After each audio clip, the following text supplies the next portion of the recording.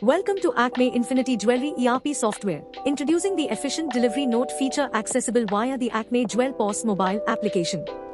This feature streamlines your process, allowing swift creation of delivery notes directly through the mobile app, saving valuable time. Step 1. Open the Acme Jewel POS application. Step 2. Enter your login credentials to access the system. Step 3. After logging in, search for the customer by name or number using the search bar. Step 4. Click on the delivery note option. Step 5. Scan the barcode of the item for the delivery note. Step 6.